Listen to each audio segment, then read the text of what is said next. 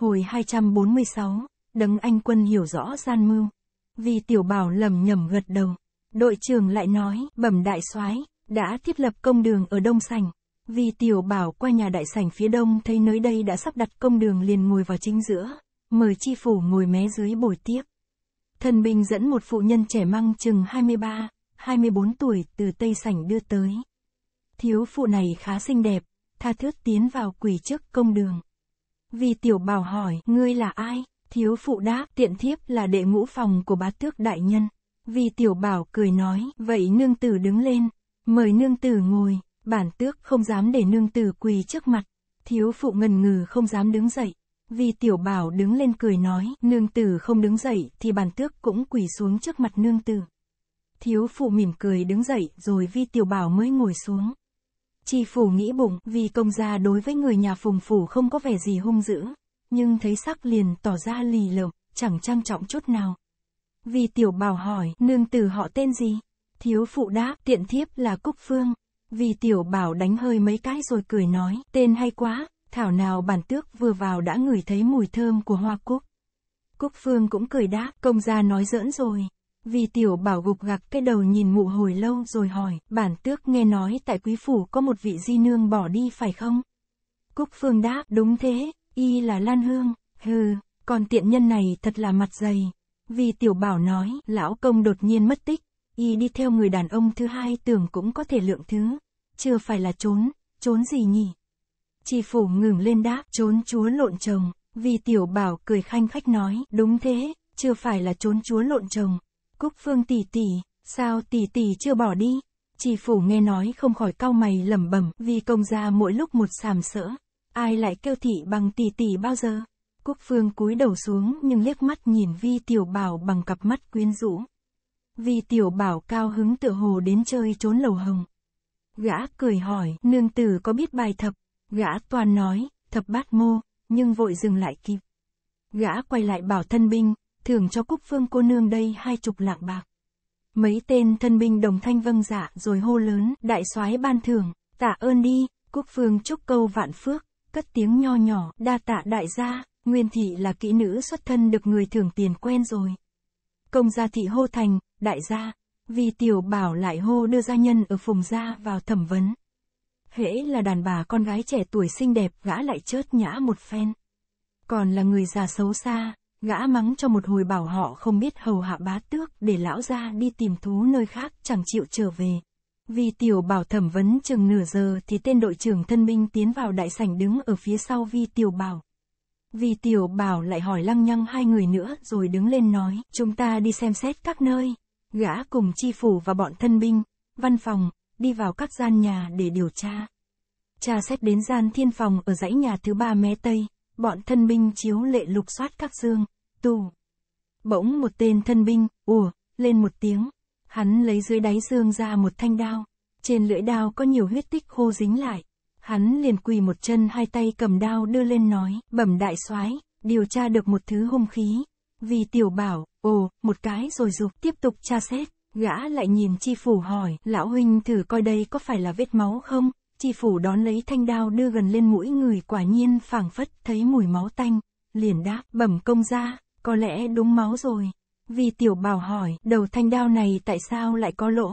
Thứ đao gì vậy? Chi phủ thuận thiên tra án đã quen, coi kỹ lại rồi đáp, bẩm công ra đây là thứ cương đao để cắt cỏ, một thứ đồ dùng ở tàu ngựa. Vì tiểu bảo nói, té ra là thế, đội trưởng thân binh sai thuộc hạ lấy một gánh nước đổ xuống đất. Vì tiểu bảo hỏi, làm gì vậy? Đội trưởng đáp, bẩm đại soái nếu là đất mới đào chưa chặt lại thì thấm nước rất mau. Hắn chưa dứt lời, nước đổ xuống gầm giường đã thấm hết liền. Bọn thân binh đồng thanh hoan hô, chúng khiêng giường ra, dùng tuồng cuốc đào đất, chỉ trong khoảnh khắc móc lên một cái tử thi. Tử thi này không đầu và đã hủ nát, hiển nhiên chết khá lâu ngày. xác chết mình mặc bá tước công phục, viên tri phủ vừa ngó thấy bật tiếng la hoảng, đây là, phùng tước ra rồi, vì tiểu bảo hỏi, phùng thích phạm ư, sao phủ đài nhận ra được? Chi phủ đáp, dạ dạ, phải chờ kiếm thấy thủ cấp mới có thể quyết định. Y quay lại hỏi đầu mục bộ khoái, ai chú trong căn nhà này? Đầu mục đáp, tiểu nhân xin tra hỏi là biết ngay. Hắn qua tây sảnh kêu một gia nhân ở phùng phủ lại hỏi thì ra phòng của tỷ thiếp Lan Hương đã trốn đi rồi. Đầu mục bộ khoái bẩm lại, khải bẩm công gia, khải bẩm phủ đài đại nhân. Hung khí là thanh cương đao để cắt cỏ ngựa của tên mã phu hình tứ, người phùng phù Hình tứ đem Lan Hương đi trốn rồi. Tiểu nhân xin xuống tàu ngựa để điều tra. Mọi người liền vào tàu ngựa sục sạo. Quả nhiên đào đất lấy được thủ cấp ra. Nhà dịch mời Phùng Phu Nhân xuống nhận thi thể thì đúng là thủ cấp Phùng Tích Phạm. Ngô tác giảo nghiệm nhận định Phùng Tích Phạm bị đao chém chết, đầu một nới mình một nèo. Lúc này những người giữ ở Tây Sảnh đã được tha ra. Trong phùng phủ tiếng khóc vang trời, ai cũng thống mạ hình tứ và lan hương lòng lang giả thú sát hại chủ nhân. Tin này đồn đại ra ngoài mới trong nửa ngày mà khắp thành Bắc Kinh đều biết hết, nơi nơi bàn tán xôn xao. Viên tri phủ vừa thẹn thùng lại vừa cảm kích, nghĩ thầm, nếu không được vi công gia phá án mau lẻ thì e rằng bước tiến trình của ta vấp phải nhiều điều trở ngại trọng đại. Y không ngớt ca tụng và tạ ơn vi tiểu bảo. Một mặt chi phủ sai thảo công văn hỏa tốc gửi đi các nơi chóc nã hình tứ và lan hương về tội giết chủ trốn chạy.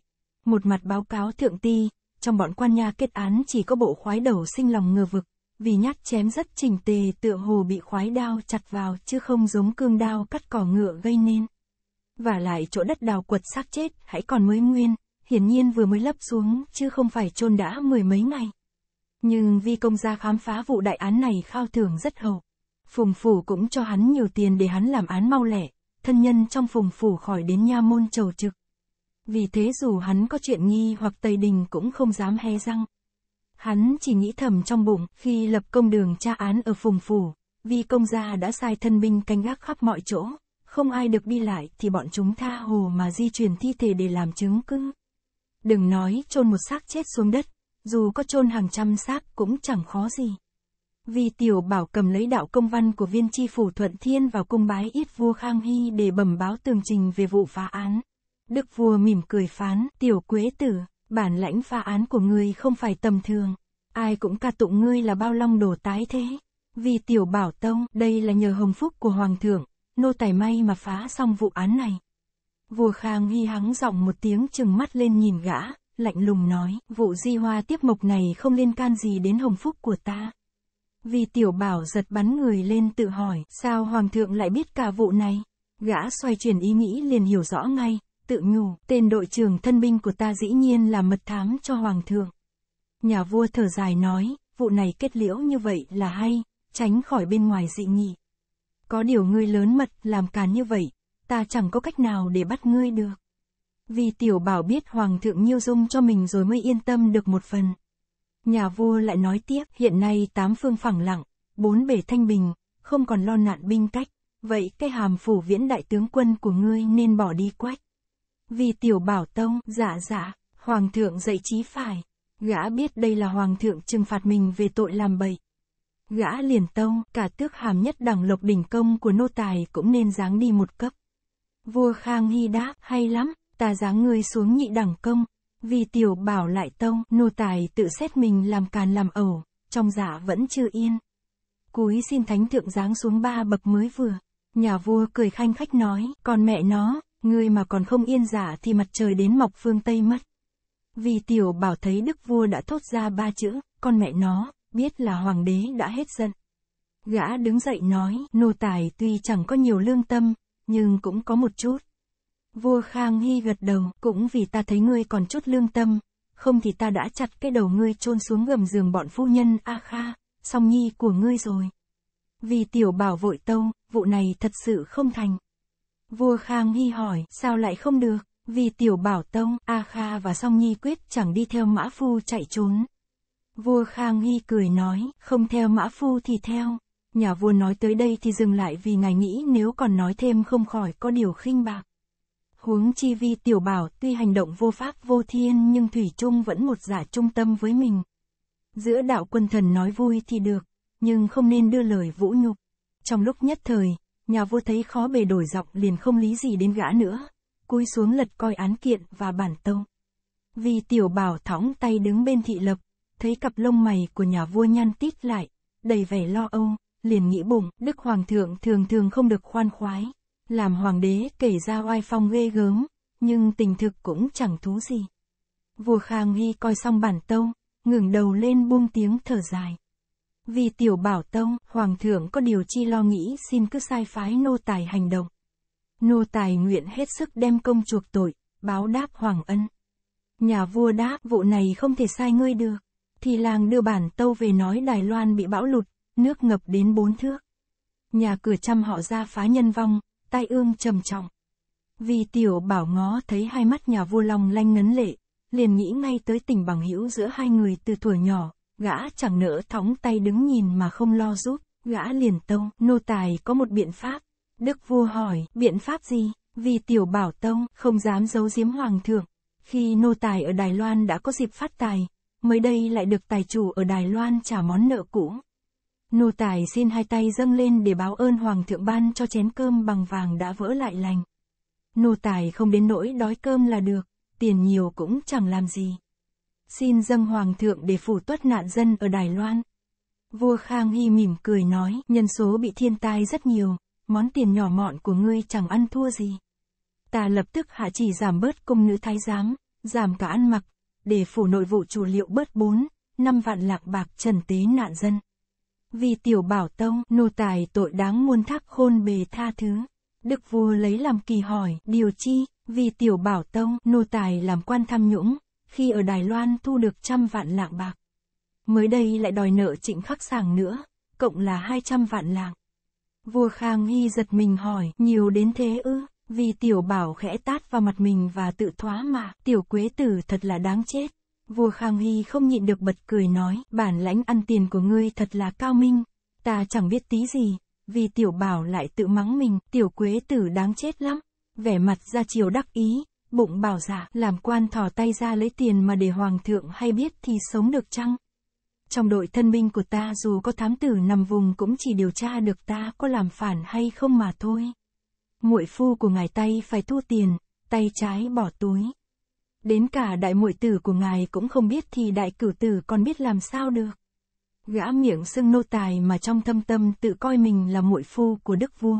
Vua Khang Hy trầm ngâm một lúc rồi ban khen, tấm lòng trung quân, thương dân của ngươi thật hiếm có.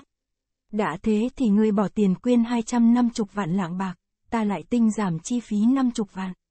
Vua tôi mình góp lại thành 300 vạn lạng. Số nạn dân ở Đài Loan ước chừng hơn một vạn nhà. Mỗi nhà được chia hơn 200 lạng cũng khá lắm rồi. Vì tiểu bảo gặp lúc xúc động nhất thời khẳng khái bỏ tiền quyên nhưng thực cũng xót dạ. Gã đang có ý hối hận, nhưng nghe nhà vua nói cũng tinh giảm phần mình bỏ ra 50 vạn lạng bạc, gã lại vui mừng vội đáp, dạ dạ, hoàng thượng thương dân như con, hoàng thiên sẽ bảo hữu thánh thượng khiến mưa thuận gió hòa, quốc thái dân an. Vua Khang Hy vì việc thiên tai trầm trọng xảy ra ở Đài Loan trong lòng bứt rứt đến nửa ngày. Bây giờ bỗng dưng được món tiền lớn ngài rất cao hứng, mỉm cười nói, Hoàng Thiên cũng phù hộ cho ngươi được thăng quan phát tài, đa phúc đa thọ. Vì tiểu bảo cười đáp đa tả kim khẩu của Đức Vạn Tuế. Kẻ nô tài có thăng quan phát tài hay đa thọ đa phúc thì cũng hoàn toàn ở nơi Hoàng thượng ban ân. Hơn nữa, hai khoản tiền đó nô tài đều lấy của người ở Đài Loan thì bây giờ có đem trần cấp cho trăm họ ở Đài Loan cũng chẳng qua là hoàn bích quy, quy đài mà thôi. Vua Khang Hy cười ha hả nói, câu thành ngữ, hoàn bích quy triệu, con mẹ nó, ngươi lại đổi thành, hoàn bích quy đài. Vì tiểu bảo đáp, dạ dạ, đúng là, hoàn bích quy triệu. Trong lúc thẳng thốt, nô tài quên mất chữ, triệu. Vì tiểu bảo lại nói, triệu tiền tôn lý, chu ngô trần vương. Họ triệu đứng lên hàng đầu các họ khác, trách nào họ chẳng phát đạt. Vậy ra hoàn bích hay hoàn gì gì cũng đổ vào nhà họ triệu cả. Vua Khang Hy lại càng tức cười, nghĩ bụng, gã này bất học hữu thuật, cũng không cần dạy nhiều. Ngài cười nói, phải lắm, phải lắm, lại còn câu thành ngữ, vi biên tam tuyệt, để tả người nhà họ vi đọc sách rất dụng công nên bề học vấn rất thâm uyên. Họ vi các ngươi cũng không phải hạng tầm thường. Vì tiểu bảo cười nói, học vấn của nô tài kém cỏi quá, làm thương tổn đến thanh danh của tổ tôn họ vi. Nhà vua nói, vụ trần tế nạn nhân Đài Loan chuyến này, ngài toàn phái gã đi, nhưng lại nghĩ thầm, gã đã bỏ ra nguyên một món tiền lớn chẳng qua là muốn tỏ ra nghĩa khí với ta, chưa chắc gã đã thật lòng yêu dân. E rằng, gã chưa ra khỏi cửa cung lại có điều hối hận. Sai gã đi Đài Loan phát trần 300 vạn lạng bạc, gã dám thu về đủ vốn để khỏi mất của mình, không chừng gã còn lấy gấp đôi để làm lợi tức, nhà vua là chi kỳ của vi tiểu bảo, liền đổi giọng, nói tiếp, thật quá ư dễ dàng, bất tất phải ngươi thân hành ra đi. Tiểu quế tử, tước hàm nhất đẳng lộc đỉnh công của ngươi không phải giáng cấp nữa. Ngoại xanh của ta đã thắp đèn lồng, vậy cứ để như cũ. Vì tiểu bảo quỳ xuống tạ ơn, gã dập đầu mấy cái rồi đứng dậy cười nói, nô tài quyên chút bạc chẳng qua là chuyện hoàn bích quy, quy triệu tiền tôn lý, hoàng thượng lại coi là công lao. Chính hoàng đế giảm ăn mặc mới là hiếm có. Vua Khang Hy lắc đầu nói, không phải, nhất thiết những vật dụng ở trong cung đều là của bách tính trong thiên hạ. Bách tính cung cấp cẩm y ngọc thực cho ta thì ta cai trị muôn dân phải hết lòng hết sức làm việc cho bách tính. Người làm quan ăn lộc của nhà vua, làm việc phải hết lòng với nhà vua. Ta ăn lộc của dân cũng phải hết lòng làm việc cho dân. Nhà vua dừng lại một chút rồi tiếp cổ thư đã có câu, tứ hải khốn cùng, thiên lộc vĩnh trung, nghĩa là bốn bể khốn cùng thì thiên lộc vĩnh viễn không còn. Nếu trăm họ bị khốn cùng là vì hoàng đế bất đức. Hoàng thiên đã phẫn nộ thì ta còn làm hoàng đế thế nào được? Vì tiểu bảo tông, cái đó quyết không phải thế, nhất định không thể thế được.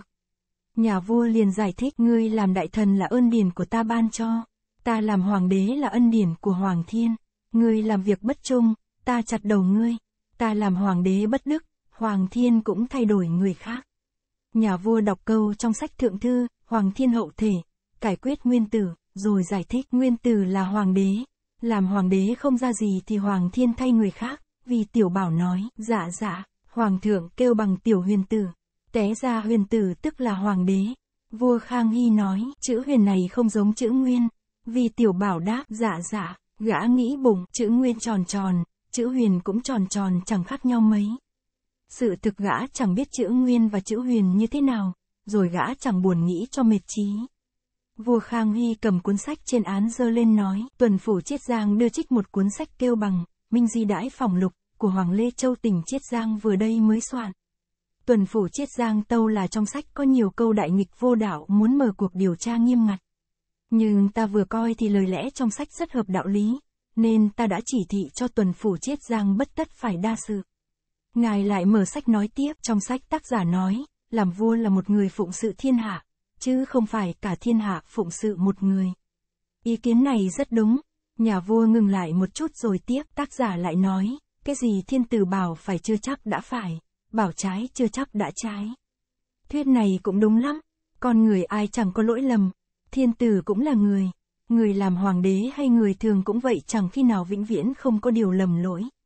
Nhà vua nói một hồi thấy vi tiểu bảo luôn miệng khen phải nhưng vẻ mặt bâng khuâng. Ngài không khỏi phì cười nghĩ bụng, tên tiểu lưu manh còn biết gì mà ta giảng đạo lý cho gã nghe. Ta còn nói nữa thì e rằng gã phải ngáp dài. Ngài liền vẫy tay nói, ngươi đi đi, tay phải vẫn cầm cuốn sách, miệng đọc thiên tử cho là quyền làm lợi hay làm hại trong thiên hạ đều do mình mà ra. Mình đem hết cái lợi lại cho mình, đổ cái hại trong thiên hạ cho người cũng có thể được. Nhưng điều cốt yếu là khiến người thiên hạ không dám tự tư, tự lợi. Dùng cái đại tư của mình làm cái công của thiên hạ, ban đầu còn e lệ, nhưng lâu ngày quen đi sẽ coi sản nghiệp lớn lao của thiên hạ là của riêng truyền cho tử tôn, hưởng thụ vô cùng. Hồi 247, dựng cờ khởi nghĩa làm hoàng đế. Vì tiểu bảo nghe vua Khang Hy đọc sách chẳng hiểu gì hết, lại thấy nhà vua khen hay không mớt miệng, liền trở lại để đưa lời tân bốc. Gã thấy nhà vua đặt sách xuống liền hỏi, tâu hoàng thượng, nô tài không hiểu trong sách nói gì mà hoàng thượng thích thú như vậy. Vua Khang Hy đáp, y bảo người làm hoàng đế khuyên người thiên hạ đừng có tự tư tự lợi, chỉ một mình hoàng đế là được tự tư tự lợi mà thôi. Hoàng đế càng tự tư bao nhiêu càng cho là đại công với thiên hạ bấy nhiêu. Ban đầu trong lòng hoàng đế đối với hành động bất công này còn có chút bẽ bàng, nhưng về sau thành ra một tập quán tự nhiên lại cho mình là phải còn người ngoài đều lầm lỗi hết. Vì tiểu bảo tông, tác giả này nói vậy chỉ có thể bình luận những vị hoàng đế tồi bại. Còn hoàng thượng là điều sâm dùy thang mà nói thế là không đúng. Vua Khang Hy cười đáp, ha ha, ông nào là hoàng đế cũng tự coi mình là điều sâm dùy thang hết. Chẳng ông nào tự nhận mình là hôn quân như kiệt chủ. Huống chi bên cạnh hôn quân biết bao nhiêu đại thần vô liêm sỉ chuyên ca tụng công đức đứa hôn quân lên hàng điều sâm dùy thang. Vì tiểu bảo cười nói, may mà Đức Hoàng thượng là nhân vật chính xứng đáng làm điều xâm dùy thang, không thì nô tài cũng thành kẻ đại thần vô sỉ. Vua Khang Hy đập bàn chân xuống đất cười nói, ngươi là kẻ biết liêm sỉ lắm. Thôi bước đi, vì tiểu bảo tông, khải bẩm hoàng thượng, nô tài xin hoàng thượng ban ân cho được nghỉ trở về Dương Châu thăm viếng mẫu thân. Nhà vua mỉm cười đáp, ngươi có lòng hiếu thảo như vậy là hay lắm. Hơn nữa người ta đã có câu, phú quý bất quy cố hương như ý cầm dạ hành, nghĩa là, kẻ sang giàu trở về cố hương thì chẳng khác gì người mặc áo gấm đi đêm. Người nên về thăm quê nhà cho dạng dỡ tổ tông. Có điều người về sớm rồi lai kinh cho chóng. Đón mẹ già đến Bắc Kinh cùng ở, ta sai viết chỉ dụ phong cho mẫu thân ngươi làm nhất phẩm thái phu nhân. Người biên cả tên tuổi người cha đã quá cố đưa đến bộ lại để truy tặng quan chức. Nhà vua chắc vì tiểu bảo không biết viết tên họ phụ thân, nên không muốn hỏi nhiều. Vua Khang Hy tuy anh minh, nhưng vụ này ngài chỉ biết một mà không biết hai. Cố nhiên vi tiểu bảo không viết được tên họ phụ thân vì thất học. Thực ra, phụ thân gã là ai gã cũng không hay. Vì tiểu bảo quỳ xuống tạ ơn, lui ra, gã về phủ lấy tập ngân phiếu 250 vạn lạng bạc đưa đến nộp cho ngân khố ở bộ hồ. Vì tiểu bảo lại qua bộ binh nộp binh phủ ấn tín về chức phủ viễn đại tướng quân. Gã nhờ Tô Thuyên đặt tên họ cho phụ thân, đồng thời tên họ tổ tiên ba đời gã cũng do mụ đặt dùm và viết rõ ràng đưa tới bộ lại để bộ này làm sắc phong tặng, tập ấm. Từ đây dòng họ tổ ti được thế tập làm lang trung. Mọi việc xong xuôi, vi tiểu bảo thu thập hành trang chuẩn bị lên đường. Gã là người có nhân duyên rất tốt, ở trong triều lại được thánh quyến tin yêu, nên các vương công đại thần đều mở yến tiệc tiễn hành liên tiếp nhiều ngày rất là bận rộn. Lúc sắp đăng trình, vì tiểu bảo nghĩ tới món tiền quyên khổng lồ 250 vạn lạng bạc lại đau lòng xót dạ. Gã sai thân binh đến đòi nợ trịnh khắc sảng được hơn một vạn lạng bạc rồi mới ra khỏi kinh thành. Vì tiểu bảo theo đường bộ tới Thông Châu rồi xuống thuyền trong sông Vận Hà đi về phía nam qua Thiên Tân, Lâm Thanh sang sông Hoàng Hà đến Tế Ninh. Vì tiểu bảo cùng bảy vị phu nhân ăn cơm chiều xong ngồi nói chuyện vãn. Tô Thuyền nói, tiểu bảo, sáng mai chúng ta sẽ đến Hoài Âm, Đời xưa có một nhân vật được phong tước hoài âm hồng. Vì tiểu bảo ngắt lời, ồ, vậy y hãy còn kém ta. Tô Thuyền mỉm cười nói, không phải đâu, nhân vật đó đã được phong làm tề vương. Về sau hoàng đế sợ ông làm phản mới bỏ vương tước, cải phong làm hoài âm hồng. Ông họ hàn tên tín, một nhân vật oai danh rất lớn. Vì tiểu bảo vỗ đùi đánh đét một cái đáp, tưởng ai chứ hàn tín thì ta biết rồi. Trong những vở tuồng, tiêu hà nguyệt hạ truy hàn tín, thập diện mai phục, hạng võ biệt ngu cơ, đều nói đến. Tô Thuyên đáp, đúng rồi, hàn tín bản lãnh phi thường, công lao rất lớn. Sở bá vương anh hùng như vậy mà phải thất bại liền xiềng về ông. Đáng tiếc là đời ông đi vào hậu quả không hay. Ông bị hoàng đế và hoàng hậu hạ sát. Vì tiểu bảo thở dài hỏi, đáng tiếc, thực là đáng tiếc, tại sao hoàng đế lại giết ông? Ông làm phản phải không? Tô Thuyên lắc đầu đáp, không có đâu. Ông không làm phản, nhưng hoàng đế sợ tài ông và lo ông làm phản. Vì tiểu bảo nói, may mà ta chẳng có bản lãnh gì. Đức Hoàng thượng hơn ta về đủ mọi phương diện nên chẳng cần úy kỵ ta. Ta chỉ hơn Hoàng thượng được một điểm, ngoài điểm đó, món gì ta cũng còn kém ngài xa. A Kha hỏi, ngươi hơn Hoàng đế về điểm nào? Vì tiểu bảo đáp ta có bảy vị phu nhân nguyệt thẹn hoa nhường. Khắp thiên hạ không có người đàn bà thứ tám nào xinh đẹp bằng. Trong hậu cung của Hoàng thượng, tuy rất đông phi tần nhưng đuổi theo ba ngày không kịp ta. Thế là Đức Hoàng thượng Hồng Phúc Tề Thiên, còn Vi Tiểu Bảo Diễm Phúc Tề Thiên. Cả hai tôi chúa đều có chữ, Tề Thiên, mỗi người mỗi cái, Tề, riêng biệt. Gã mặt dày lại thích ba hoa khiến bảy vị phu nhân lăn ra mà cười. A Kha cười nói, Hoàng đế Hồng Phúc Tề Thiên, còn ngươi là Tề Thiên Đại Thánh. Vi Tiểu Bảo đáp, đúng rồi, Ta là Mỹ Hầu Vương ở Thủy Liêm Động hướng dẫn một bầy hầu lão bà, hầu tử, hầu tôn ngao du sơn thủy, tiêu giao tự tại cho qua ngày tháng. Mọi người đang trò chuyện vui cười, bỗng ngoài khoang thuyền có người lớn tiếng, khải bẩm công gia có tân khách xin ra mắt. Một tên nha hoàn cầm bốn tấm thiếp đưa vào. Tô thuyền đón lấy coi rồi nói khẽ, bốn vị tân khách này là cố viêm võ, cha kế tá, Hoàng Lê Châu và Lữ Lưu Lương. Vì tiểu bảo nói, nếu là bọn cố tiên sinh thì ta phải tiếp kiến rồi. Gã bảo gia nhân mời khách vào trong khoang thuyền lớn dùng trà. Một mặt gã thay áo rồi ra tiếp khách. Ba vị cố, Cha, Hoàng ngày trước bị Ngô Chi Vinh bắt ở Dương Châu suýt nữa mất mạng, may được Vi Tiểu Bảo giải cứu. Còn Lữ Lưu Lương thì nay mới đến tương hội là một. Phía sau y có hai thanh niên lối ngoài hai chục tuổi. Hai thanh niên này là Lữ Bảo Trung và Lữ Nghị Trung, con trai Lữ Lưu Lương.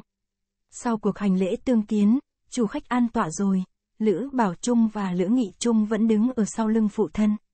Cố viêm võ khe nói, vì hương chủ, chuyến này bọn tại hạ đến bái phòng hương chủ là có việc lớn muốn thương nghị với hương chủ. Y dừng lại một chút rồi tiếp, ở tứ dương tập này rất nhiều tay mắt không tiện đàm luận. Xin hương chủ cho rời thuyền đi xa mấy dặm đậu tại một nơi vắng vẻ rồi hãy nói chuyện, được chăng? Ngày trước trong cuộc sát quy đại hội ở Hà Giang, cố viêm võ được các lộ anh hùng suy tôn làm tổng quân sư là người oai danh lừng lẫy trên trốn giang hồ. Vì tiểu bảo cũng rất khâm phục y, liền ưng chịu ngay. Gã vào kể lại với bọn Tô Thuyên, Tô Thuyên nói, dù sao mình cũng phải đề phòng mới được. Bọn ta cũng ngồi thuyền đi liền họ để xảy chuyện gì là có người tiếp ứng.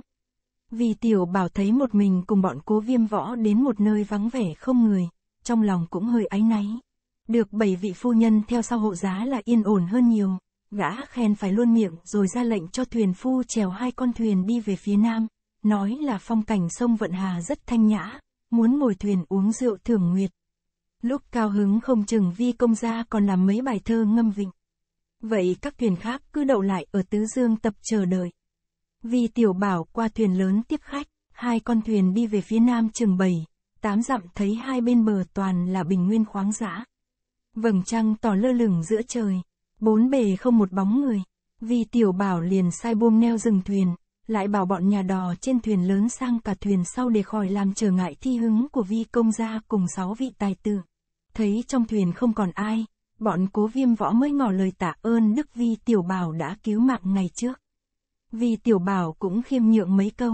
Tiếp theo câu chuyện đưa tới chỗ Ngô Lục Kỳ và Trần Cận Nam trước sau mộ hải, mọi người than thở hồi lâu. Cố viêm võ nói, trên trốn giang hồ người ta phao ngôn là vi hương chủ thăm đồ phú quý, giết sư phụ để cầu vinh hoa. Hoàng huynh, cha huynh và tiểu đệ nhất quyết không tin có chuyện đó. Bọn tiểu đệ ba người nghĩ đến chuyện ngày trước chưa từng quen biết vi hương chủ mà hương chủ đã chịu mạo hiểm phi thường hạ sát Ngô Chi Vinh để cứu mạng cho bọn tiểu đệ. Một nhân vật nghĩa cả ngất trời xanh như vậy khi nào lại hạ sát ân sư. Cha kế tá nói theo, bọn tiểu đệ nghe bạn hữu giang hồ nhắc tới vụ này, đã hết sức biện minh cho vi hương chủ. Nhưng bọn họ bảo trong thánh chỉ của hoàng đế thát đát nói rõ như vậy, chẳng lẽ còn giả được ư? Y dừng lại một chút rồi tiếp những hành động của vi hương chủ đã tỏ ra người ở Tàu mà lòng vẫn ở Hán không thể nói rõ cho người ngoài biết được. Tiểu đệ nghĩ rằng xưa nay những bậc anh hùng hào kiệt trong thiên hạ không ai là không chịu tiếng oan. Đến bậc đại thánh hiền như Chu Công còn bị lũ quản, thái phao ngôn, huống chi kẻ khác. Tưởng vi hương chủ bất tất phải quan tâm đến những người buông tiếng thị phi. Vì tiểu bảo nghe họ nói mà chẳng hiểu gì đến chuyện Chu Công cùng quản, thái, Gã chỉ vâng dạ cho xuôi. Lữ lưu lương lên tiếng, Vi hương chủ khổ tâm mưu đồ đại sự không cần mong người thiên hạ hiểu mình lúc này, mà chỉ cần làm nên sự nghiệp kinh thiên động địa vào lúc tối hậu. Khi đó người ta sẽ tự hiểu đã trách oan vi hương chủ ngày trước. Vì tiểu bảo tự hỏi, ta làm gì mà nên việc kinh thiên động địa ư? Úi trà, hỏng bét, chắc bọn họ lại khuyên mình hành thích hoàng thượng. Anh em thiên địa hội bảo ta làm việc đó ta chối từ mãi chưa được. Đối với bọn kia mình chối 3-4 phần thì bọn này phải chối đến 5, 6 phần. Hơn nữa ta dấp ngõ trước là xong. Gã liền đáp tiểu đệ chẳng có bản lãnh gì, học vấn lại càng kém cỏi. Hành động chẳng nên cho gì, trong lòng chán nản lắm rồi. Chuyến này cáo lão hồi hương, từ nay quyết không làm một việc gì nữa. Lữ Nghị Trung thấy vì tiểu bào còn ít tuổi hơn mình đã nói chuyện cáo lão hồi hương, không nhịn được bật lên tiếng cười khúc khích. Bọn cố viêm võ cũng tức cười, nhìn nhau mỉm miệng. Hoàng Lê chân tùm tìm cười nói, vì hương chủ là một bậc niên thiếu anh hùng, bước tiền đồ không biết đến đâu mà lường. Đối với bọn vô tri hiểu lầm trong lúc nhất thời, tưởng hương chủ chẳng cần chấp trách làm chi. Vì tiểu bảo đáp dù chấp trách cũng chẳng làm sao được. Hoàng tiên sinh, tiên sinh làm bộ sách hay lắm. Đó là bộ minh, minh cái gì lục lục. Hoàng Lê Châu rất lấy làm kỳ tự hỏi, gã này không biết chữ, sao lại hiểu ta làm bộ sách này? Y đáp, đó là cuốn Minh Di Đãi Phòng Lục. Vì tiểu bảo nói, phải rồi, phải rồi, Trong bộ sách đó có nhiều chỗ tiên sinh thống mạo hoàng đế phải không? Bọn Hoàng Lê Châu giật mình kinh hãi nghĩ thầm, đến gã này còn biết vụ đó thì e rằng lại xảy ra một trường văn tự ngục. Cố viêm võ đáp, không phải là thoá mạ hoàng đế. Trong sách Hoàng Huynh Kiến giải tinh vi, thuyết minh đạo lý làm vua thế nào mà thôi. Vì tiểu bảo nói, phải rồi, mấy bữa nay ngày nào Hoàng thượng cũng đọc sách của Hoàng tiên sinh và không ngớt khen ngợi văn chương rất hay. Không chừng sẽ mời tiên sinh đến làm trạng nguyên hay làm tể tướng. Hoàng Lê Châu đáp, vì hương chủ nói giỡn rồi. Làm gì có chuyện đó. Vì tiểu bảo liền kể lại vua Khang Hy đọc cuốn Minh Di Đãi phòng lục và khen ngợi thế nào. Mọi người nghe gã nói mới yên dạ. Hoàng Lê Châu nói, vậy ra hoàng đế thát đát cũng biết phân biệt thị phi. Vì tiểu bảo liền thừa cơ nói vào, đúng thế, tiểu hoàng đế thường bảo, tuy ngài không phải là điều xâm dùy thang, nhưng so với các vị hoàng đế Minh Triều cũng không chịu kém mà có khi còn hay hơn. Bách tính trong thiên hạ dưới quyền trị vì của ngài so với triều Minh còn dễ chịu hơn. Tiểu đệ nhỏ tuổi không hiểu ngài nói vậy có đúng chăng? Bốn vị cố, cha, hoàng, lữ nghe gã nói câu này đưa mắt nhìn nhau. Ai cũng nghĩ lại những hoàng đế ở triều đại nhà Minh từ Đức Minh Thái Tổ khai quốc cho tới đời Minh Mạt là Sùng Trinh Hoàng đế. Ông thì tàn nhẫn bạo ngược, ông thì mê muội hồ đồ, chẳng một vị nào bì kịp vua Khang Hy.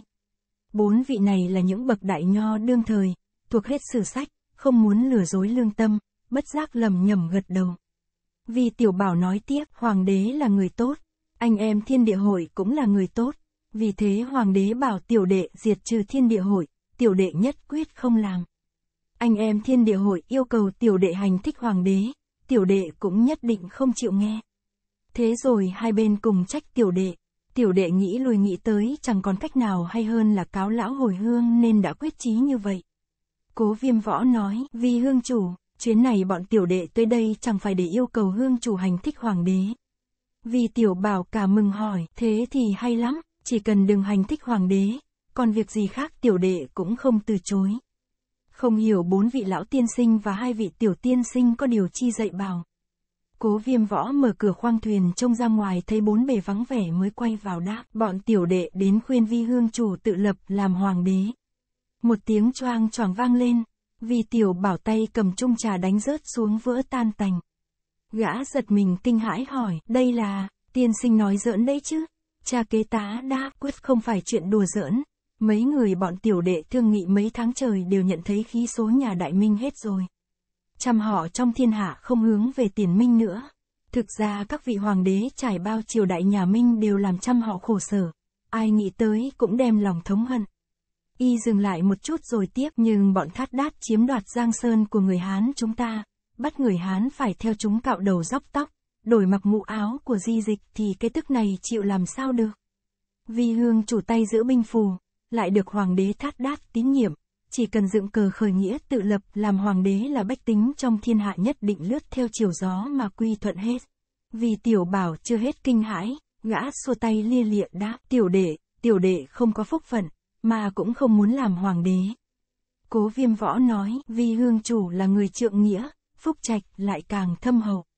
Phóng tầm mắt nhìn ra thiên hạ, nếu hương chủ không lên làm hoàng đế thì khắp nước chẳng còn người thứ hai nào làm được nữa. Lữ Liêu Lương nói theo, người Hán chúng ta đông gấp trăm người mãn, trăm người trọi một có lý nào lại không thắng. Mới đây Ngô Tam Quế cử sự, vì hắn là đại Hán gian đem Giang Sơn nhà đại minh dâng cho giặc, nên người Hán khắp thiên hạ đều nghiến răng căm hận, hắn mới không thành công. Còn vi hương chủ trên thuận đạo trời, dưới hợp lòng người. Mới đây hương chủ lại bình song la sát, lập nên kỳ công tuyệt thế cho Trung Quốc. Danh vọng của hương chủ đang hưng thịnh như vừng thái dương lên đến giữa trời. Chỉ cần hương chủ gật đầu một cái là bọn tại hạ lập tức đi liên lạc với hảo hán giang hồ cùng mưu đại sự. Vì tiểu bảo chống ngực đánh thình thình, gã tuyệt không ngờ có người đến khuyên mình lên làm hoàng đế. Bất giác gã thộn mặt ra hồi lâu mới nói, tại hạ nguyên là một tên tiểu lưu manh xuất thân, chỉ có bản lĩnh chửi bới người ta và rong chơi cờ bạc.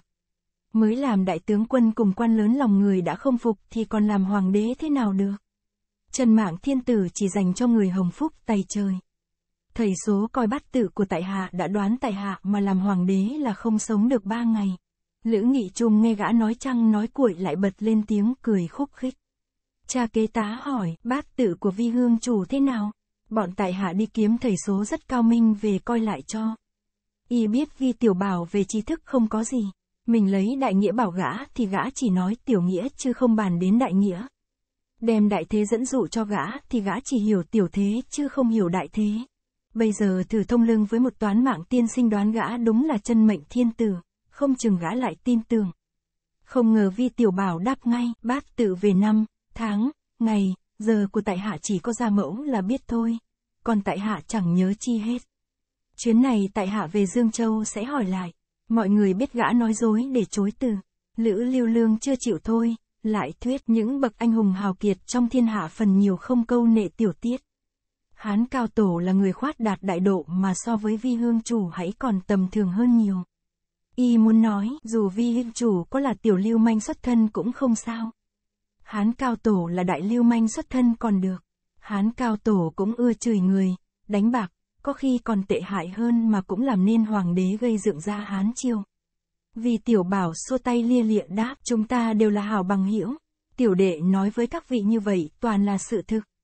Gã sờ lên đầu nói tiếp, tiểu đệ có cái miệng để ăn cơm, muốn lưu lại ăn thêm mấy chục năm nữa.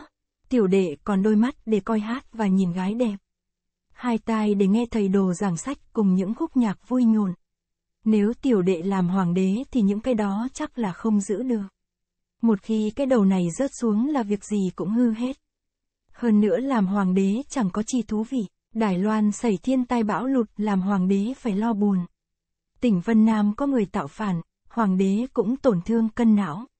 Làm hoàng đế chỉ tổ giấc lấy cái khó nhọc vào mình chứ chẳng sung sướng gì. Tiểu đệ nhất định không làm. Bọn cố viêm võ ngơ ngác nhìn nhau nghĩ bụng, sự thực gã nói đúng. Gã đã không có đại trí lại không chịu vì dân vì nước đứng mũi chịu sao thì làm sao đả động được gã. Vụ này thật khó quá. Sau một lúc, cố viêm võ lại nói, công cuộc to lớn này không thể trong một lúc mà quyết định được. Y chưa dứt lời, đột nhiên nghe tiếng vó ngựa rồn rập. Mấy chục người kỵ mã đi dọc bờ sông Mé Tây từ phía bắc tiến lại. Đêm khuya thanh vắng, tiếng vo ngựa nghe càng rõ rệt. Hoàng Lê Châu hỏi, giữa lúc đêm khuya sao lại có đại đội nhân mã qua đây? Lữ Lưu Lương đáp, có lẽ là quan binh đi tuần phòng. Cha kế tá lắc đầu nói, không phải đâu, nếu là quan binh tuần phòng thì chỉ đi thong thả, khi nào lại phóng ngựa nhanh như bay. Phải chăng đây là hào khách giang hồ? Mấy người đang nghị luận, bỗng nghe bờ bên đông cũng có mấy chục người kỵ mã chạy tới. Mặt sông Vận Hà rất chật hẹp, chỉ đủ chỗ cho ba con thuyền lớn đậu song song. Ngựa chạy hai bên bờ, người ngồi trong thuyền ở giữa sông cũng nghe rõ mồn một. Những chân xào ở thuyền sau liền đầy thuyền đậu gần lại thuyền trước. Tô Thuyên và Song Nhi nhảy sang đầu quan thuyền cất tiếng hỏi, tướng công, e rằng bọn người kia chẳng tử tế gì. Vậy chúng ta quây quần vào một chỗ. Vì tiểu bảo đáp, phải rồi, liệt vị lão tiên sinh đây xem chừng không phải hạng hiếu sắc. Các phu nhân cứ vào đi, liệt vị ngó thấy cũng không sao. Bọn cố viêm võ nghĩ thầm, gã này ư nói nhăng quá. Họ cảm thấy có điều bất tiện khi chạm mặt với nội quyến của vi tiểu bảo, liền lui cả về đằng lái. Bọn công chúa, Phương Di bảy vị phu nhân bồng con bế cái vào cả khoang trước. Hồi 248, xuống Giang Nam ẩn tích mai danh. Lại nghe cả hai bên bờ những tiếng còi tre thổi lên tâu tâu, kẻ sướng người họa. Vì tiểu bảo mừng rỡ nói, đúng là hiệu còi của thiên địa hội. Mấy chục người kỵ mã đi đến bên quan thuyền, bỗng nghe trên bờ mé tây có tiếng người hô, vì tiểu bảo ra đây. Vì tiểu bảo khẽ cất tiếng thoá mạ, còn mẹ nó, tên nào mà chẳng biết kẻ trên người dưới. Sao hắn không kêu vi hương chủ? Gã toàn chạy ra đầu thuyền thì Tô Thuyên cản lại nói, hãy khoan, để tiện thiếp hỏi lại cho rõ đã. Ngụ chạy ra ngoài khoang thuyền lớn tiếng hỏi, anh hùng hảo hán ở đâu muốn gặp vi tướng công? Ngụ ngó lên hai bên bờ thì thấy những người kỵ mã đều bịt đầu bằng khăn xanh, tay cầm binh khí. Người đi đầu bên tây ngạn đáp, bọn ta là người thiên địa hội. Tô thuyền khẽ hỏi, khẩu hiệu của thiên địa hội lúc diện kiến ra sao? Vì tiểu bảo gióng giặc hô, ngũ nhân phân khai nhất thủ thi, thân thượng hồng anh vũ nhân chi. Nếu là anh em thiên địa hội mà chưa quen biết thì đọc thơ tiếp để nhận nhau. Không ngờ người kia ngồi trên ngựa đáp, đây là thơ cũ của thiên địa hội. Từ ngày vi tiểu bảo phản hội hàng địch, sát hại sư phụ để cầu vinh hoa phú quý, hết thầy các khẩu hiệu đã đổi lại. Vì tiểu bảo kinh hãi hỏi lại, ông bạn là ai, sao lại hỏi thế? Người kia hỏi lại, người có phải là Vi Tiểu Bảo không? Vi Tiểu Bảo liệu chừng không chối cãi được liền đáp, tại hạ chính là Vi Tiểu Bảo. Người kia nói, có cho ngươi hay cũng chẳng hề gì. Ta là họ thư ở Hoàng Hóa Đường trong thiên địa hội. vì Tiểu Bảo nói, té ra là thư đại ca. Trong vụ này có nhiều chỗ hiểu lầm. Lý Hương Chủ trong quý đường có đến đây không? Gã họ thư hằn học đáp, ngươi gây lên tội ác ngập đầu. Lý Hương Chủ đã bị ngươi làm cho uổng mạng. Sao còn giả vờ hỏi? Quần hùng bên Tây Ngạn lớn tiếng la, vì tiểu bảo phản bội hàng địch, hại sư cầu vinh. Thư đại ca bất tất phải nói nhiều với gã. Bữa nay chúng ta phân thây gã làm muôn đoạn đặng báo thù cho Trần Tổng Đà Chúa và Lý Hương Chủ. Mọi người bên đông ngạn nghe tiếng đều la ó om sòm. Đột nhiên nghe đánh vèo một cái. Có người liệng một viên phi hoàng thạch xuống. Vì tiểu bảo vội rút vào trong khoang thuyền ngấm ngầm kêu khổ. Gã nghĩ bụng, té ra Lý Hương Chủ ở hoành hóa đường chết rồi. Những anh em đây không hiểu trắng đen hành động nóng này, biết làm thế nào. Lại nghe những tiếng lách tách vang lên ở trên mui thuyền. Hai bên không ngớt phóng ám khi đánh xuống, may mà thuyền đậu giữa sông hai bên đều có bãi rộng cách bờ sông khá xa, nên ám khí bầy ra đều rớt xuống sông, mà có vào thuyền thì luồng lực đạo cũng đã yếu rồi. Vì tiểu bảo nói, đây là thảo thuyền tá tiễn, ta là lỗ túc chỉ sợ run, vị nào là gia cát lượng mau mau nghĩ biện pháp đối phó. Cố viêm võ cùng bọn thuyền phu đều ở đằng lái thấy ám khí bắn giữ cũng ẩn vào trong khoang.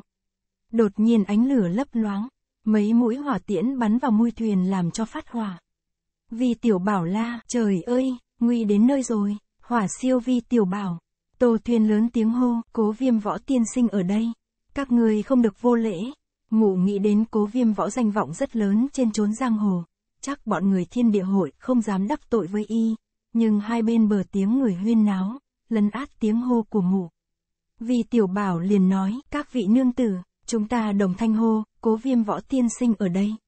Một, hai, ba, bảy vị phu nhân theo vi tiểu bảo đồng thanh hô, cố viêm võ tiên sinh ở đây.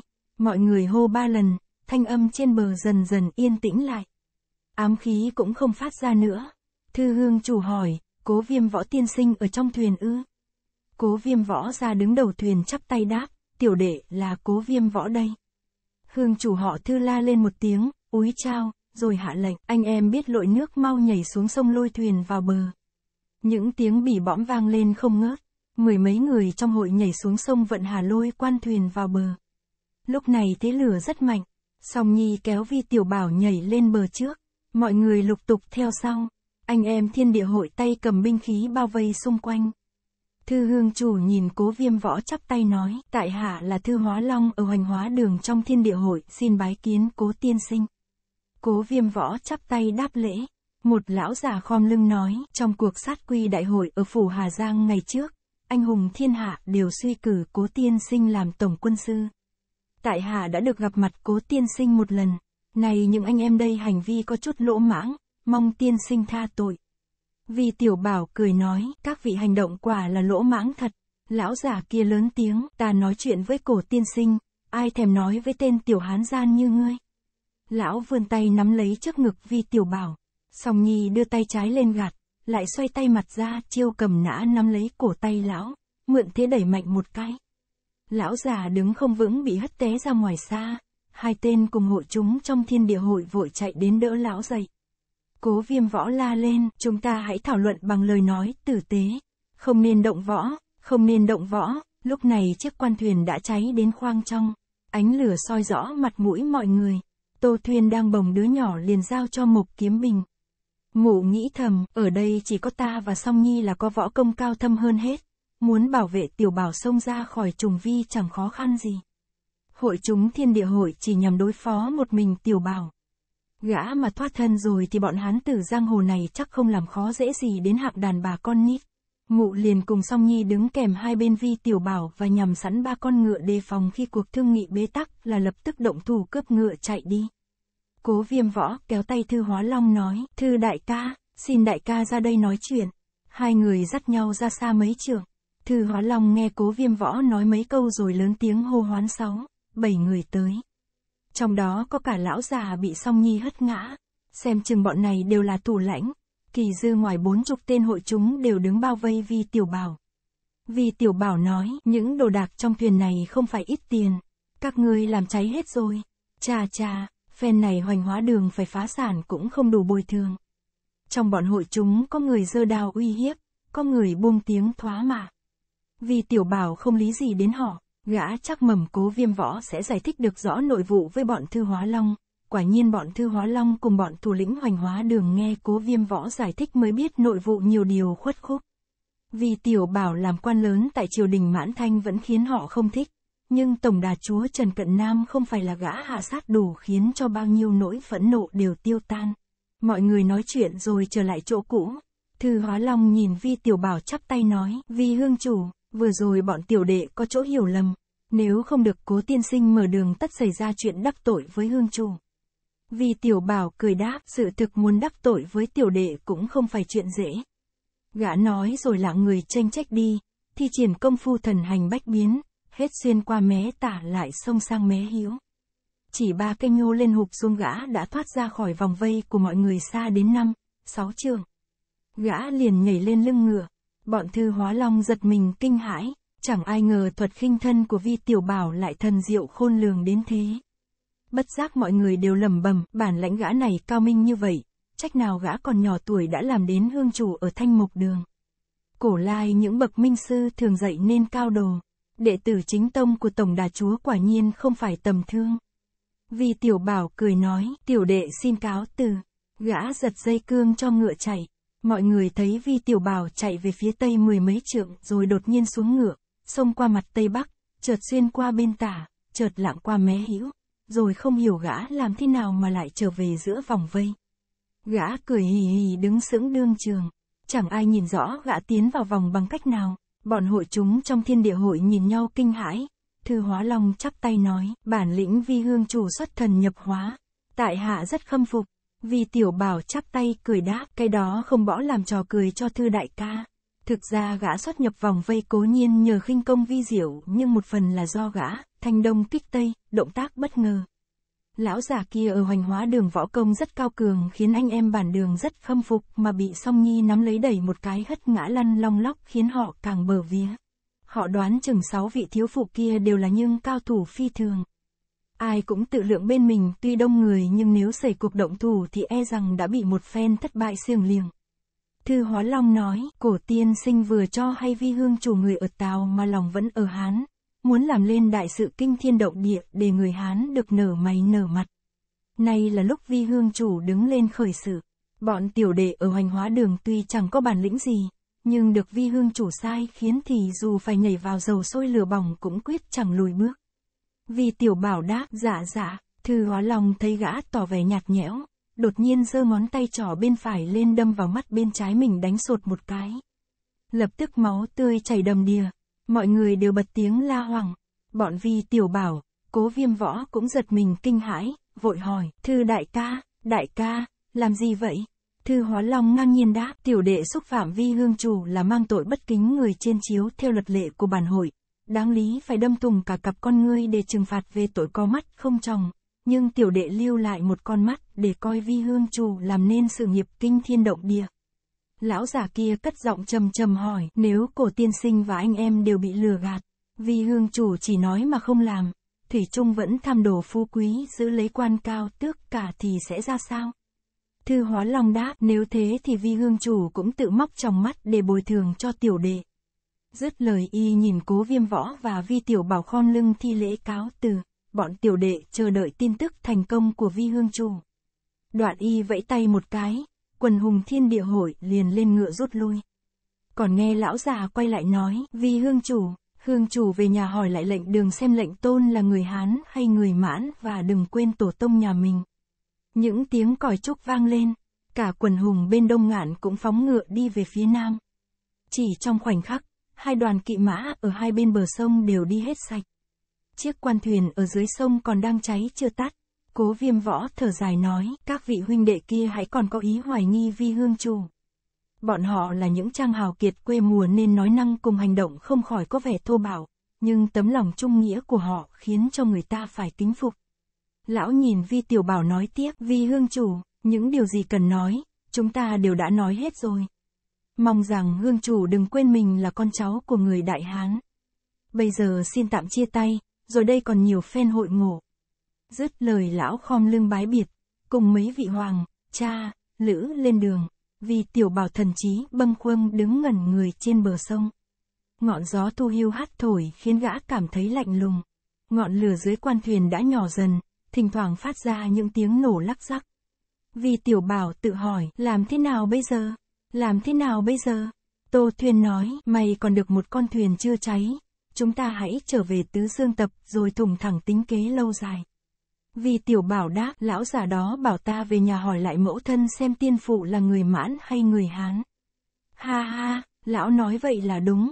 Tô Thuyên khuyên giải, tiểu bảo, bọn người thô tục đó ăn nói hồ đồ, hà tất tướng công phải để tâm. Chúng ta xuống thuyền đi, vì tiểu bảo đứng yên không nhúc nhích, lòng dạ dối bời, gã cúi xuống nhìn mấy giọt máu dưới đất. Đấy là những giọt máu từ con mắt bên trái của thư hóa long nhỏ xuống. Đột nhiên gã gầm lên, lão gia không làm nữa. Lão gia không làm nữa. Bảy vị phu nhân giật mình. Vì song song đã ngủ say trong lòng mẫu thân nghe tiếng gã gầm thét giật mình tỉnh dậy khóc quà lên. Vì tiểu bảo lại nói, hoàng đế bắt ta đi đánh thiên địa hội. Thiên địa hội bức bách ta làm hoàng đế. Lão ra hai chân đứng hai đầu thuyền mà cả hai bên đều không tốt. Một bên muốn chặt đầu ta, một bên đòi móc mắt ta. Con người được mấy cái đầu, mấy con mắt, hết người này đòi chặt đầu lại đến kẻ khác đòi móc mắt. Thế thì lão gia còn được cái gì? Không làm nữa là xong, bất cứ cái gì lão gia cũng không làm. Tô Thuyên thấy thái độ gã thất thường liền tìm lời ôn nhu khuyên giải, làm quan tại triều suốt ngày hồi hộp trong lòng chẳng có chi là thú. Làm hương chủ thiên địa hội cũng chẳng hay ho gì. Tướng công nhất quyết không làm nữa là phải lắm. Vì tiểu bảo mừng rỡ hỏi, các vị đều khuyên ta không làm gì nữa phải không? Bọn Tô Thuyên, Phương Di, A Kha, Tăng Nhu, Mộc Kiếm Bình, song nhi sáu người đều gật đầu. Chỉ một mình kiến ninh công chúa không đồng ý hỏi, người mới làm đến công tước, sao lại bỏ không muốn làm quan nữa? Ta tưởng ngươi làm đến tể tướng, phong đến tước vương rồi hãy cáo lão. Và lại bây giờ ngươi muốn từ quan, nhất định hoàng đế ca ca cũng không chuẩn cho. Vì tiểu bảo tức mình đáp ta đã không làm quan là không bị hoàng đế cai quản nữa.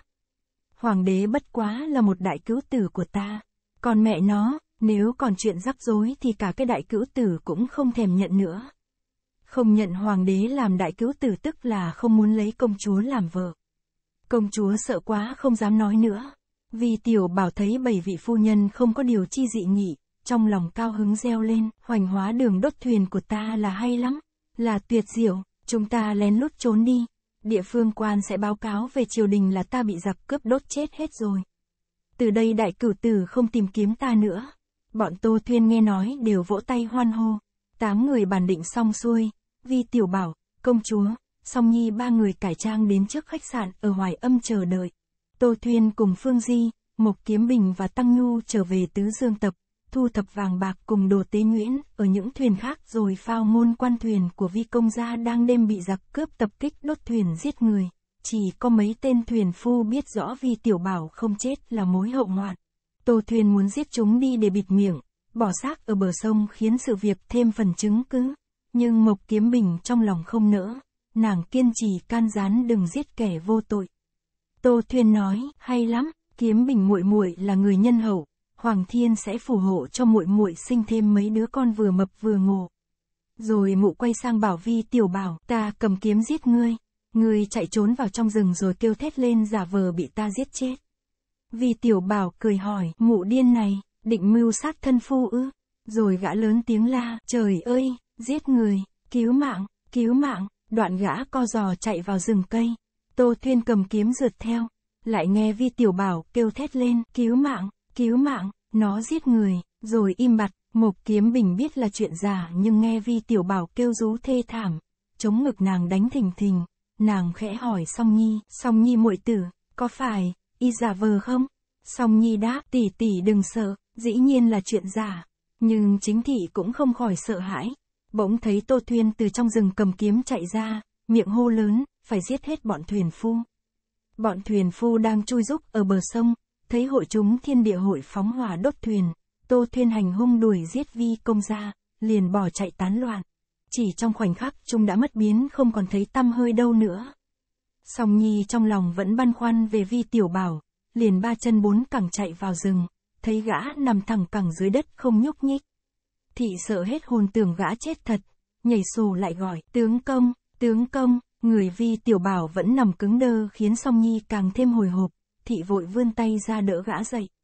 vì tiểu bảo đột nhiên giang hai tay ôm chặt lấy thị, miệng hô, đại công cáo thành, phải hôn một cái. Cả tám vợ chồng hành động theo kế hoạch, thu thập tài vật, cải trang về đến Dương Châu. vì tiểu bảo đón tiếp mẫu thân rồi cả nhà cùng xuống Vân Nam từ đây mai danh ẩn tích, tiêu giao ngày tháng ở thành đại lý. Những lúc nhàn rỗi, vì tiểu bảo lại nhớ tới trong thành nhã khắc tát trên núi Lộc Đình còn kho tàng rất lớn, nhưng thấy mình giàu có, trong lòng đã thỏa mãn, lại nghĩ đến mối giao tình tha thiết với vua Khang Hy nên không nỡ khai quật làm tổn thương long mạch của nhà vua. Vua Khang Hy cũng biết tư cách và bản lĩnh vi tiểu bảo quyết không đến nỗi bị giặc cướp sát hại một cách dễ dàng, huống chi lại không tìm thấy thi thể gã đâu. Nhà vua không ngớt phái người minh cha ám phòng mà không ra manh mối. Những sử gia đời sau có chép việc nhà vua sáu lần xuống Giang Nam để thị sát công tác trên sông Đại Hà, nhưng thực ra tuần thị Hà Công Hà tất phải xuống đến Hàng Châu. Mỗi chuyến Nam Du nhà vua còn đình lưu ở Dương Châu rất lâu, phái nhiều người đến các đờ A trường, kỹ viện, trà quán, tiểu lâu điều tra mà chẳng được tin tức gì về vi tiểu bảo, khiến mặt rồng lắm lúc đăm chiêu, người đời sau khảo chứng, tổ phụ của Tào Tuyết cần tác giả pho hồng lâu mộng là Tào Dần Nguyên trước làm ngự tiền thị vệ, sau được vua Khang Hy phái đi làm chức tạo ở Tô Châu, lại là chức tạo ở Giang Ninh là những nơi phồn hoa mặt Giang Nam để tìm kiếm vi tiểu bảo. Đó là chuyện về sau hãy xin tạm gác. Nhắc lại hôm ấy vi tiểu bảo đến Dương Châu, đưa cả phu nhân cùng các con vào lệ xuân viện để gặp mẫu thân. Mẫu tử trùng phùng, nỗi hoan hỉ kể sao cho xiết. Vì Xuân Phương thấy bảy cô con dâu đều xinh đẹp, mụ nghĩ thầm, thằng lòi tiểu bảo lựa gái thật là tài. Gã mà mở kỹ viện nhất định phát đạt lớn. Vì tiểu bảo dắt mẫu thân vào phòng hỏi, má má, phụ thân của Hải Nhi là ai? Vì Xuân Phương trợn mắt lên hỏi lại, ta biết thế nào được? Vì tiểu bảo trao mày hỏi, trước khi mang thai Hải Nhi, má má đã tiếp ai? Vì Xuân Phương đáp, khi ấy ta còn trẻ đẹp, hàng ngày phải tiếp mấy người, làm sao mà nhớ được? Vì tiểu bảo hỏi, những người khách đó là người Hán cả chứ? Vì Xuân Phương đáp, người Hán thì dĩ nhiên rồi, nhưng có cả những ông quan người mãn và cả võ quan người Mông Cổ. Vì tiểu bảo hỏi, có bọn quỷ ngoại quốc không? Vì Xuân Phương tức giận đáp, ngươi cho má ngươi là mụ điếm tồi tàn hay sao mà tiếp cả bọn quỷ ngoại quốc. Còn bà nó, bọn quỷ la sát, quỷ hồng mau mà lần tới lệ Xuân Việt là lão nương cầm chổi đuổi ra ngay. Vì tiểu bảo yên dạ nói, thế thì hay lắm, vì Xuân Phương ngừng đầu ngẫm nghĩ một lúc rồi nói, hồi ấy có người tướng mạo khá bảnh thường đến kiếm ta. Mỗi người có chỗ giống y, mỗi khi nhập phòng y vừa niệm kinh vừa đảo mắt sùng sục nhìn ta mà cười hì hì. Dường như y là một vị lạt ma. Vì tiểu bảo cười nói, thế là hán, mãn, mông, hồi, tạc đủ cả. Hai mẹ con cười ồ. Chân thành cảm ơn mọi người đã dành thời gian lắng nghe chuyện đọc trên kênh youtube của chúng tôi. Sự quan tâm và phản hồi tích cực từ các bạn là động lực lớn. Hy vọng qua câu chuyện, chúng tôi đã mang lại những phút giây thư giãn và suy nghĩ sâu sắc. Mọi ý kiến đóng góp giúp chúng tôi ngày càng hoàn thiện. Hãy tiếp tục ủng hộ chúng tôi bằng cách đăng ký kênh, chia sẻ và để lại những bình luận ý kiến của bạn. Chúng tôi sẽ tiếp tục mang đến những câu chuyện thú vị và ý nghĩa hơn nữa.